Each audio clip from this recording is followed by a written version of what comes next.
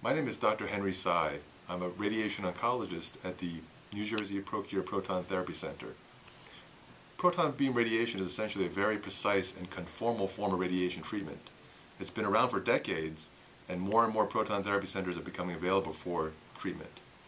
Proton therapy has been used to treat prostate cancer for many years and has been shown to be safe and effective.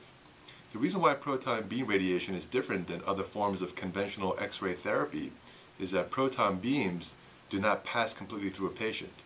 Proton beams can only go a certain distance and then they stop. That way there's no excess radiation delivered beyond a tumor.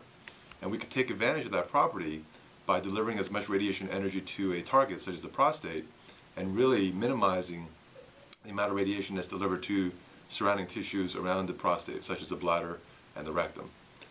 We believe that proton therapy is an excellent choice for young men with prostate cancer who have prostate cancer that we still believe is confined to the prostate, so-called clinically localized prostate cancer, and men who uh, expect to live many years of fruitful life beyond their diagnosis.